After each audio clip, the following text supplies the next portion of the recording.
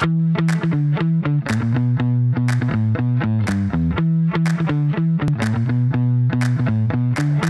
j'étais jeune étudiant, justement, j'avais déjà ça en ligne de mire. Et quelques années plus tard, voilà, quand je me suis dit à un moment donné, c'est bien d'avoir un bagage supplémentaire, je me suis retourné vers cette vieille, justement, euh, vieille envie d'aller à l'IAE Paris-Sorbonne. C'est très réputé, plus on prend de l'âge et plus on entend parler, en quelque sorte. Était poussé, on était bien encadré et que c'était vraiment sous le signe de la bienveillance. Ce n'est pas que du savoir qui descendait, c'était du savoir partagé qu'on essayait de faire mûrir également euh, avec nos expériences les uns les autres. Ça a développé justement ce qu'on appelle aujourd'hui des fameux soft skills. Je pense qu'on est tous là à se dire qu'on a beaucoup appris. Et puis les hard skills, bah, des matières comme analyse financière qu'on avait un peu oubliées.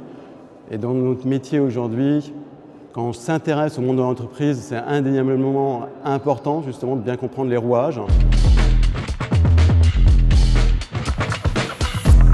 Une longue formation comme celle-ci était un vrai euh, cap et une vraie aventure. Et je pense que ça permettait d'avoir un renouveau, apporter d'autres bagages justement à, tout mon passé, à toutes mes expériences.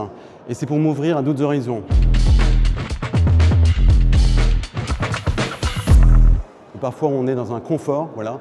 Et moi j'invite toujours mes collaborateurs et dans les échanges justement à se projeter dans un autre monde, avoir un nouveau bagage, parce que de l'avenir, il faut mieux avoir plusieurs bagages aujourd'hui, et donc s'enrichir. On arrive tous avec un, esprit très ouvert, et c'est ce partage-là qui, fait sa, force justement de l'IAU Paris-Sorbonne.